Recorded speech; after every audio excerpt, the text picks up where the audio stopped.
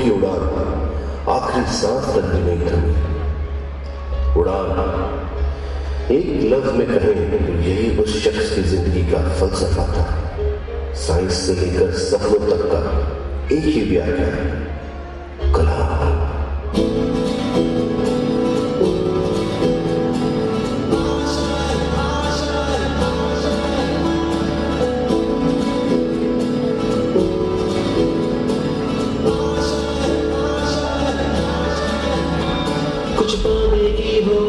God's go to